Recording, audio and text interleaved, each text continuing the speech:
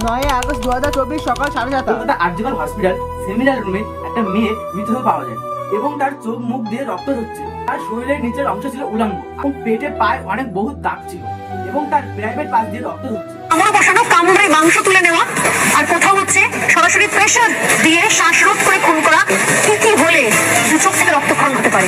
মুখ দিয়ে রক্তক্ষরণ হয় যৌনাঙ্গ দিয়ে রক্তক্ষরণ মেয়েটা কে ছিল জানো?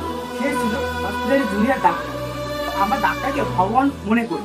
তো এগুলো শুনে যে কোনো মানুষ বুঝতে পারবে এটা কখনো সাধারণ মৃত্যু নয়। তো যে অবস্থায় মেয়েটি ছিল তাতে পরিষ্কার বলা যায় মেয়েটির সাথে অমানবিক অত্যাচার করা হয়েছে। কিন্তু যখন হসপিটাল পক্ষ থেকে মেয়েটির বাড়ির লোককে এই বিষয়ে বলা হয় যে তাদের মেয়ে আত্মহত্যা করেছে, এমনকি দাবি করেছে পুলিশ শুরুর দিকে এই ঘটনাকে আত্মহত্যা ঘটনা বলে ধামাচাপা দেওয়ার চেষ্টা করেছে। করে এবার মেয়েটির মৃত্যু হলো। কিন্তু কেন পুলিশ শুরুর দিক থেকে এত উদাসীন ছিল?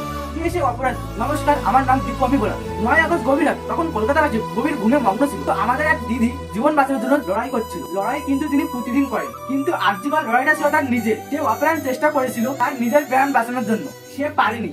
সে এক হিমোচ্ছল জানোয়ারের শিকার হয়েছিল। সেই রাতের বেলায় কি হয়েছিল? আর্যিকর ছত্রিশ ঘণ্টা ডিউটি শেষ করে তিনি বারোটায় হসপিটাল সেমিনার রুমে ওখানে তার বন্ধুরা ছিল। তাদের সেই রাতে নাইট ডিউটি ছিল। তারা রাতের বেলায় খাবার অর্ডার করে খাওয়া দাওয়া করে। বেশ কিছুক্ষণ বন্ধুরা মিলে আড্ডা দেয়। রাত তিনটের দিকে ঘুমিয়ে পড়ে। এমন ঠিক পরের দিন সকাল সাতটার দিকে একটা নীল ম্যাড্রেসের উপর তার মৃতদেহ পাওয়া যায়। আর প্রাথমিক তদন্তে পাওয়া যায়, ভোর রাত তিনটে থেকে ছটার ভিতরে তার মৃত্যু হয়। তবে শুরুর দিকে কিন্তু পুলিশ তদন্তে জোর দেয়। তবে তারপর শুরু হয় ছাত্র বিক্ষোভ। সারা রাজ্য জুড়ে বিভিন্ন হসপিটাল। তখন হুড়ি করে কলকাতা পুলিশ তদন্ত শুরু করে এবং চারজন ম্যাজিস্ট্রেট এবং তার মা ব্যাটসম্যানের সামনে পোস্টমর্টম করা হয়। পুরো পোস্টমর্টমটা রেকর্ড করা হয়। তখন সামনে বেরিয়ে আসে আসল তথ্য। গোলার হাড় ভাঙা ছিল। মারে তাকে গোলার টিপে শ্বাস বন্ধ করে গোলার টিপে মারা হয়েছে। তার শরীরে ছিল প্রাইভেট পাশে আঘাতের চিহ্ন। আর তার চোখে, মুখে, পেটে অনেক আঘাতের চিহ্ন পাওয়া যায়। এবং তার গোড়ালি ভাঙা ছিল। এই সমস্ত কিছু ইন্ডিকেটিভ করে মৃত্যুর আগে তাকে ধর্ষণ করা হয়েছে। এরকম কতক্ষণ ধামাচাপা পড়ে গেছে আমরা জানি না কিন্তু আর না।